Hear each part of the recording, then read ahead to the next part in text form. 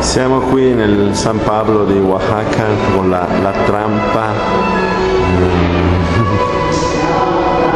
la trampa dei Monti Aperti nel 1260.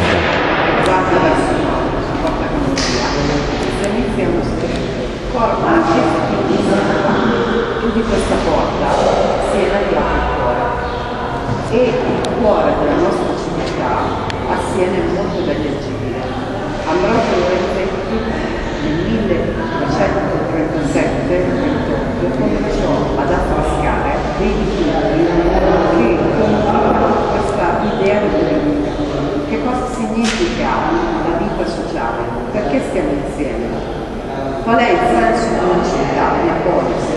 Qual è il compito della politica?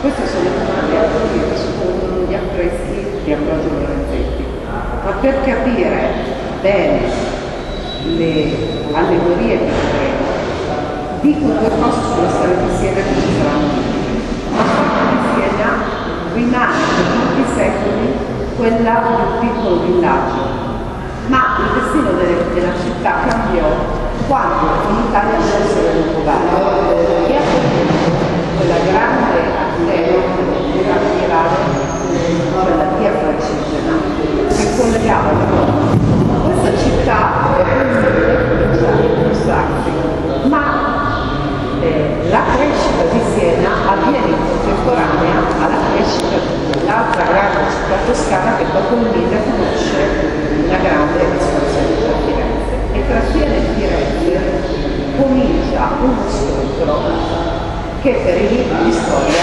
finisce con la conquista fiorentina di Siena nel 1557. Infatti, che cosa succede? Nel 1360 c'è una grande battaglia alle porte di Siena, la battaglia di Liga ci è arrivata una cronaca che racconta la vigilia di quell'evento. Il governo della città doveva prendere una decisione circa la Dovevano decidere, siccome le milizie fiorentine erano decisamente maggiori di quelle senesi, che cosa fare, se accettare la condizione di fiorentine condannando alla morte civile la città salvando la pelle, o rischiare una battaglia dall'essere probabilmente in fase. La cronaca racconta che i governanti di Siena si riunirono in una chiesetta, c'era ancora il palazzo pubblico, la chiesetta di San Cristoforo, e eh, per discutere prendere questa decisione gravissima. Siena vegliava e pregava perché i governanti prendessero la. Alla fine uscirono i governanti dalla chiesetta e annunciarono al popolo che la decisione era presa. L'annunciò una guida locale che era stato eletto capo della città per la battaglia del domani. Perché si rivolge ai suoi consiglieri e dice abbiamo preso una decisione brevissima domani combatteremo. Ma abbiamo poche possibilità di vincere, ma possiamo sperare. Perciò adesso vediamo un po' che consideriamo sempre alla domani che abbiamo avvenne le milizie senesi sbaragliarono con la la vittoria del Corriere segna il momento, l'inizio nel quale Siena conosce proprio il governo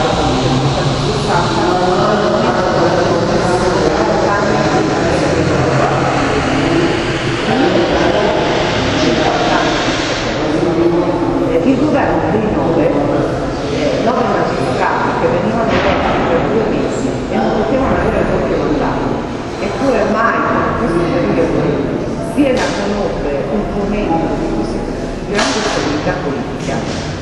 Governo decide di solennizzare i importanti fratelli con delle grandi opere pubbliche.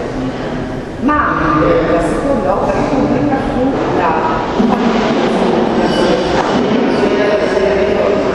così bella eh, accomuna nove spicchi che ricorda quel governo dei nove che fece realizzare la colonizzazione del campo. A chiudere Piazza del Campo con una bellissima quinta viene per l'appunto eh, iniziata la costruzione del palazzo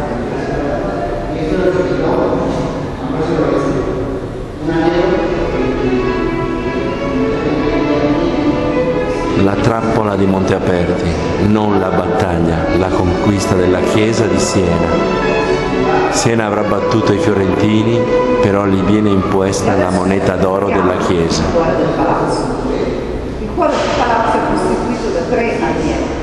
C'è la cappella di palazzo che intravedete al di là degli armeni, dove la mattina i nove assistevano alla messa prima di cominciare le loro attività.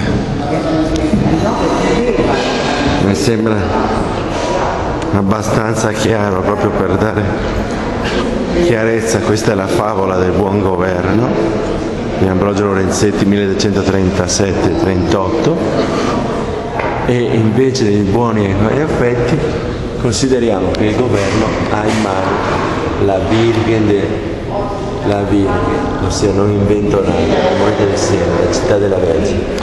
Quindi non c'è dubbio, altro che, altro che conquista dei senesi sui fiorentini, è il dominio della Chiesa che chiaramente l'ho detto, eh, cioè, credere ai propri occhi, lo so, è difficile, però arriva il momento in cui dobbiamo aprire gli occhi.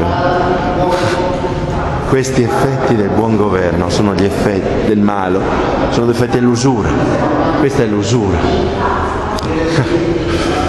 E questa è la mitica Siena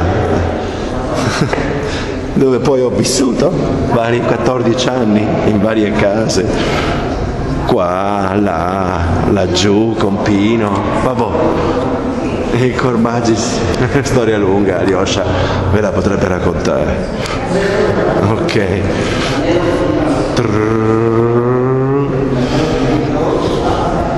Giulen. Ah, aspetta che qui c'è il gruppo di persone. Laggiù c'è la... non si vede.